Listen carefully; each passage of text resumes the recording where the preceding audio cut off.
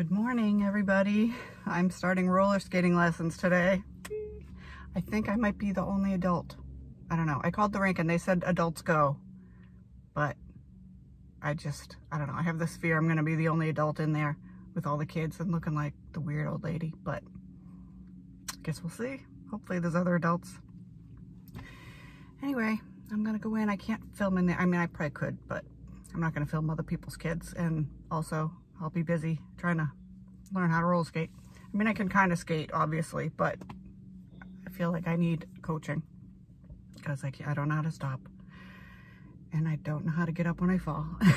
and I just want to like get better because I, I still feel like very nervous and like not very in control. So I think this will help a lot. So anyway, yeah, that's what I'm doing today. I'll update you when I get out of there and let you know if I'm the only adult. All right, see you in a bit. All right, I'm a hot, sweaty, red-faced mess, but I had fun. And there are other adults in there, so it's not just me, which is good. So there was like me and two other women. And then there was a guy who was like a level above us. So he was with another group. So, but yeah, it was good. I'll be back next week.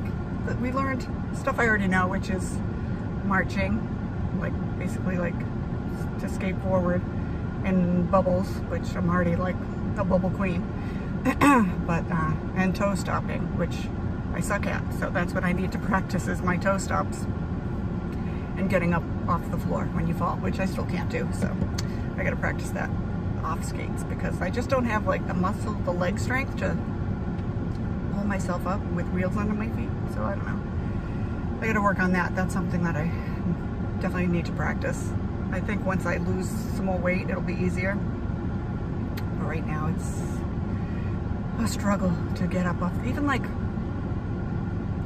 so like when I go to church and I kneel at church, I have to like pull myself up off the kneeler because I think it's, I don't know. I have bad knees anyway, so that's a challenge, just getting up from kneeling, but I'll work on that. I'll get better at it and then eventually I'll be able to get up when I fall and not have to crawl to the side and pull myself up on the wall or have someone help me up. So that's the two things I'm working on is toe stopping and getting up off the floor. The bubbles I've got down and the marching, like skating forward march thing, which is a very basic beginner skate move. I can do that too. So yeah, but I was we had like a half hour of a lesson and then a half hour of games and practice. So I was uh, working on my toe stops for the practice session because that's the thing I need to work on. I just feel like I'm gonna like trip and land on my face. And I know that it's all in my head. like if I just posture myself right, like she showed us to like put your shoulders back and your head up and then when you toe stop, you're less likely to fall forward. I just, in my mind, I still think I'm gonna trip and break my face. So I have to get over that and just slowly like practice it. So I'm coming back tonight. It's adult night tonight, so I'll be uh, trying to practice some toe stopping without trying to be in everybody's way. So that should be fun. So anyway, yeah, I don't know what else I'm doing. I might go to my cousin's bakery later and visit and get some cookies. Oh, speaking of Weight Watchers, I'm up 2.6 this week.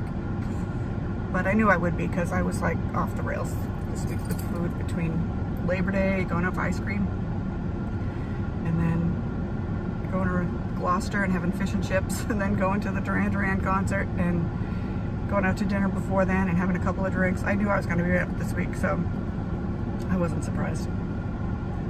Excuse me, but I need to get back on track with my eating and tracking and uh, yeah, so that's it. There's a lot of kids in the classes, but what they have us broken up into groups uh, based on our levels. So me and the two women are level one, so we're in the level one group, and there's a lot of kids in level one too, but they have a few coaches that kind of help out. And uh, but the kids are so cute. There was this one little boy, he was like glued to me. he was so cute. He's probably like three Oh, he was adorable. He, he kept falling, but he, he was like, I think he was doing it on purpose because he was having fun falling.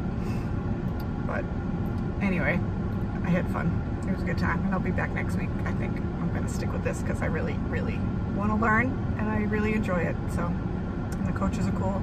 And there was one girl there. She's actually one of the coaches, but she's like 13 or 14. She's a really good skater. But when I first got there and was first like, you know, putting my stuff down, she saw my T-shirt, my Duran Duran shirt. You can see it over my steering wheel, and. uh she came skating right over to me and sat down and said, I love your shirt. I just needed to tell you that. I love Duran Duran. And I was like, who doesn't love Duran Duran? so, but it was cool seeing like a, a, young teenage girl like now in 2023 that loves Duran Duran. So they are still bringing in the young girls. So anyway, I'm going to go. I'm going to figure out what I'm doing now. I'm sweating. Probably. So this might be a very short, boring video. But it's okay. It's for my own entertainment. And if you happen to watch it too, cool. Alright, I'll see you later. Bye.